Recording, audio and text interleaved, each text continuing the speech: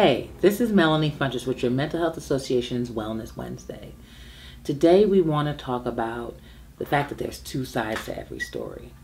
You know, you'll go on, we go on social media, it's a major part of our lives, and we'll go on Facebook, here on Facebook or on Instagram, and we'll see people, pictures of people, and we'll see all the stories they tell, and we see these great pictures of people's lives. And what we want people to remember is when we share things on social media, we curate the images that we create, right?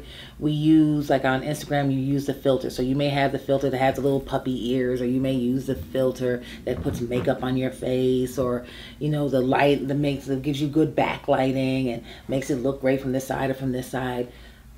But those things don't necessarily tell a complete story the the images and the lives that we curate for social media do not tell the complete story of our lives. So when we look at the stories of other people's lives, we have to remember that these are not the complete stories of their lives. You know, and so we want people to take that in and so when you're looking you're saying well their lives are so fabulous you know they only great things happen to them people choose to share good stuff so that doesn't mean that you know, every day is sunshine and rainbows for everyone. And I don't, and you don't want to take that in to say, well, what's wrong with me or say anything that's bad with you because you don't see other people sharing. You know, it just means that people are choosing to share their happy stuff. It doesn't mean the other stuff doesn't happen. It just means that sometimes people don't share it. And also, when people share, when they do share, like if someone, like a lot of times you'll hear people after someone has maybe attempted suicide or tried to commit suicide, you'll hear things, well, we didn't think that there was, you know, they seemed so happy on their Facebook or their Twitter was so happy, their Instagram. You, they didn't look sad because those are curated images. Again, those are curated images. We put the images out we want people to see.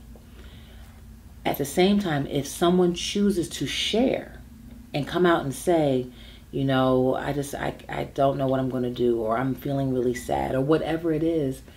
We need to create, if we're going to be an online community, we need to create spaces for people to feel safe and comfortable and for us to be supportive of people when they say those things. Because many times you'll hear people say, well, um, they got out and they were saying that they were feeling really sad, they just couldn't take it, and we thought, you know, they're just being dramatic, you know, they're just all that drama.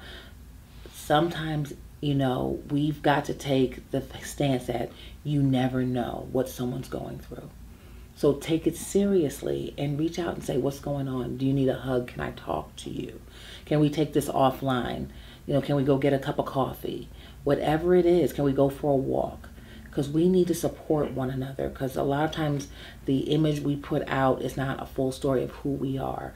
And if we want to promote wellness and make sure we all stay well. We have to both remember that for ourselves, but also remember it and be in a place where we can take care of each other. Remember, the images you see on social media are a curated image. They don't tell the whole story of who a person is or what the life they're living. And also, if someone reaches out and says that they're not, you know, they're not doing well or they're feeling like they can't go on, Take it seriously. Do not chalk it up to them just being dramatic. The life you save may be your own or that of someone you love. Take everything, take these things seriously. This has been Melanie Funchess with your Mental Health Association Wellness Wednesday. Please interact with us here on Facebook. Like, uh, continue to like our page, interact with us. Let us know if these videos are working for you. And you can go to see us on our website. We have lots of great resources there and I hope to see you again soon. Bye.